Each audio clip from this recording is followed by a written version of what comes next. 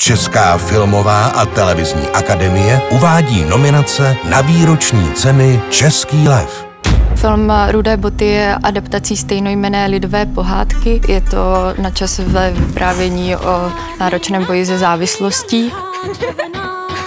Celý film je vlastně vyprávěný beze slov víceméně vznikal technikou animace olejomalba na skle, při které musíte každou fázi vytvořit pod kamerou olejovými barvami a v další fázi to, co se nehýbe, smazat a namalovat znova. Takže jakmile něco smažete, tak už není moc cesta zpátky, že vlastně je to animation ahead. Je to příběh o zvířátkách, který by se na zemi normálně nemohli kamarádit.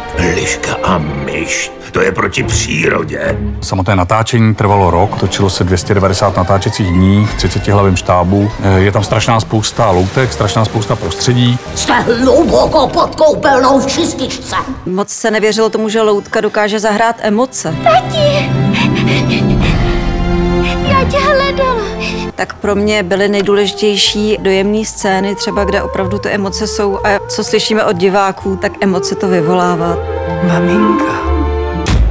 Moje slunce Mat eh, popisuje příběh české dívky, která následuje svého manžela do Afganistánu.